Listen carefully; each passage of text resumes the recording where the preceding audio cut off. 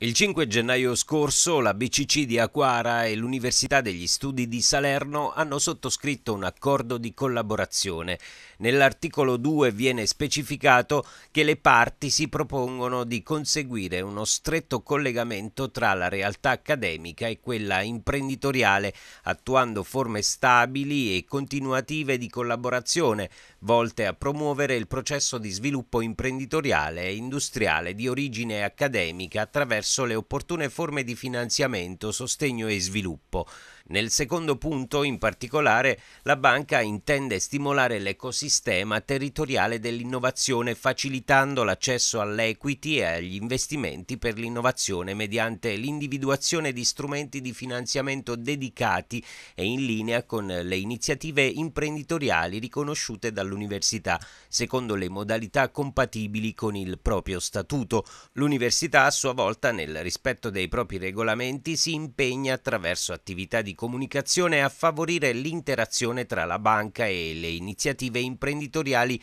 riconosciute con il fine della valorizzazione della ricerca e del trasferimento tecnologico. La collaborazione tra le due istituzioni rappresenta la concreta possibilità di creare sinergie territoriali tra l'università, le aziende e la nostra banca, ha detto il direttore generale della BCC di Aquara, Antonio Marino. Tutto questo per sostenere e dare fiducia ai giovani che saranno gli uomini uomini del futuro